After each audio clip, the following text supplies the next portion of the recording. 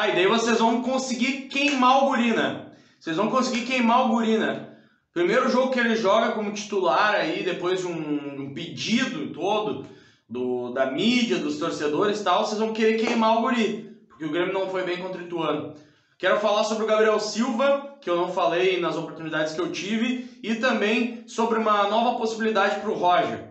E seguinte, meu, se tu quer ganhar uma graninha com futebol te divertindo, porque é diversão, né? Não vem, pá, meu Deus do céu, vou botar meu salário. Não, não, não, não. Diversão, bota uns pilinha, vê um futebol e tal. Quem sabe se o time que tu apostou ganha e tal, tu ganha uma graninha. Quer participar desse mundo de aposta, ganhar uma graninha, de, se divertindo? É KTO.com lance. Aqui embaixo tem o primeiro link da descrição, que daí te garante os teus 20% a mais do teu primeiro depósito, tá? KTO.com. E outra, né, velho? Vamos mexer. Porque esse vídeo aqui eu tô me esforçando para fazer, para entregar um conteúdo bom para vocês. Então vê se deixa o like se tu gostar desse vídeo, né, cara? Ah, falando sério, deixa o like aí porque é muito importante pro nosso trabalho. Caso tu venha gostar do nosso conteúdo, já te inscreve aqui no canal também, caso não é inscrito, tá? Todo mundo pediu o Gabriel Silva no lugar do Lucas Silva. Por quê? Porque o Lucas Silva entrega pouco, pouco para o campo ofensivo, entrega muito mais para o campo defensivo. Evidentemente, eu não sou idiota, não sou imbecil. Ele entrega mais para o campo defensivo, óbvio. Mas o Gabriel, ele chega mais à frente, ele dá mais mobilidade, ele dá mais velocidade, ele dá mais dinâmica para o time do Grêmio. Aí o que, que aconteceu? O Grêmio foi com um time em tese mais faceiro, para jogar contra o Ituano, só que na estratégia todo acadelado, todo bunda mole, todo passivo, né? Como a gente já estava acostumado a ver. Então vocês estão entendendo? Não casa uma coisa com a outra. Como é que o Grêmio foi para dentro do campo com as peças para jogar ofensivo e continuou jogando todo medroso e tomando bola nas laterais? A gente falou, vou deixar aqui no card, tá? A gente falou antes do jogo dentro do Papo Pachola, a gente falou o que poderia ser um problema para o Grêmio. Daqui a pouco o Grêmio poderia assustar o Ituano pelas laterais, e foi justamente por ali que o Ituano assustou o Grêmio. Porque o Nicolas tomou bola nas costas, o Rodrigo Ferreira fez uma partida que foi tenebrosa. Então, assim, o Grêmio sofreu contra o Ituano e poderia ter tomado 4, 5 gols. E aí tá todo mundo falando, é porque tu viu só, botou o Gabriel Silva, se tivesse ficado com o Lucas Silva, Pá, gurizada, vamos lá, né? Vamos ter um pouquinho de boa vontade.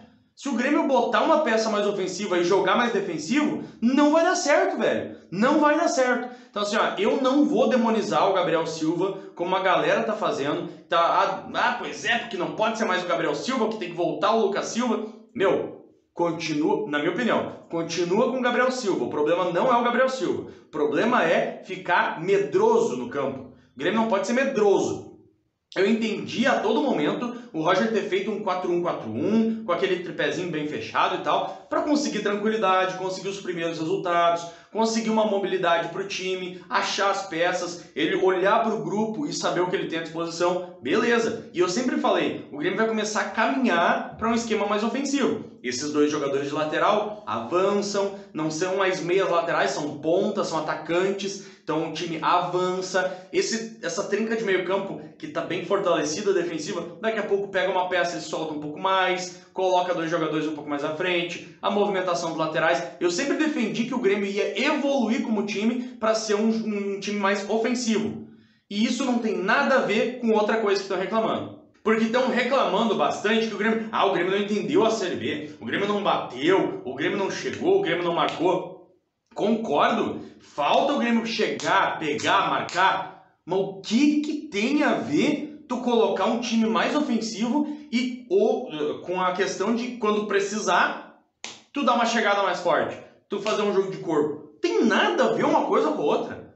Ah, mas aí se tu bota o Lucas Silva, o time vai ficar super forte e vai bater e não sei o que. E se tu bota o, Lucas, o Gabriel Silva, o time vai ficar todo fraco. Cara, é um jogador.